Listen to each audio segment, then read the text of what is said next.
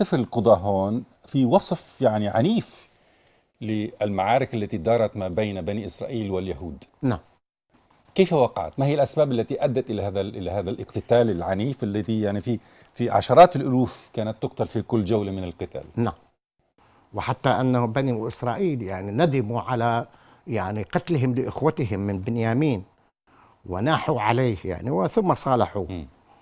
الحقيقة سفر الملوك الأول والثاني وسفر القضاة يتضمنان آه، الكثير من المشاهد المروعة للقتال الذي جرى بين بني إسرائيل وبين اليهود يعني بين الشماليين والجنوبيين, والجنوبيين. وهذا مرده إلى انقسام المملكة عندما انهارت المملكة يعني أو تفكك التحالف القديم السبئي الحميري آه بدأت سلسلة من المعارك. آه يمكننا يعني لو قمنا بتكثيف وتلخيص الخطوط العامة لهذا الصراع استنادا لسفر الملوك الأول والثاني ثم القضاة سنلاحظ ما يلي. في المرحلة الأولى في المرحلة الأولى آه، من الصراع آه، بدأت للسيطره على آه، على الساحل الغني بالبخور هو الذي يعرف بساحل بنيامين في حضرموت وهو أغنى يعني منطقة ساحلية في اليمن كانت تشتهر قديما بإنتاج البخور. يعني أخ... يعني أخذ بعد اقتصادي في هيك حاجة. نعم نعم.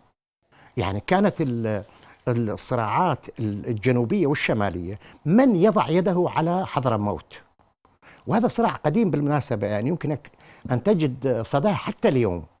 يعني حتى اليوم مسألة الصراع على حضرموت. فعلا يعني هو قلب ولب وجوهر كل التوترات التي تنشأ بين الشماليين والجنوبيين.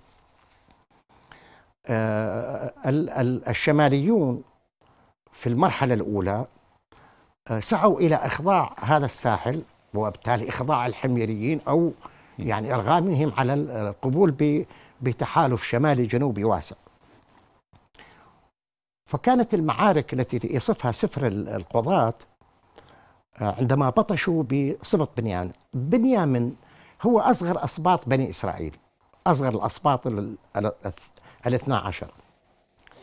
آه هذا السبط آه عاند وقاوم وسعى بكل الوسائل أن يحبط مسعى السبئيين الإسرائيليين الشماليين أن يضعوا يدهم على على حضرموت على حضرموت ولذلك يعني آه، الهجومات التي شنها هؤلاء كما يصف السفر انتهت بمقتل يعني أعداد هائلة يعني مذبح إلى الدرجة التي اضطرت بنو إسرائيل يعني كما يقول السفر أن يقيموا مناحة ويبكون لأنهم قتلوا إخوتهم وهذا السبط الصغير وأفنوه يعني عمليا حتى أنهم يعني وصلوا في خلال المعارك أنه يعني امتنعوا عن يعني يعني عملوا قواعد تحرم أي تزاوج حتى بعد انتهاء الحرب تزاوج معهم ولكن أبطلوها فيما بعد عندما عقد الصلح هناك تحريم لل... فعلا